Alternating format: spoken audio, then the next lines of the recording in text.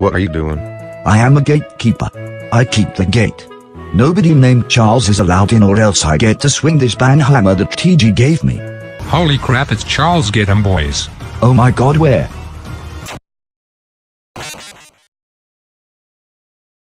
Good work Nathan you passed the test now on Bane yourself and get back to work.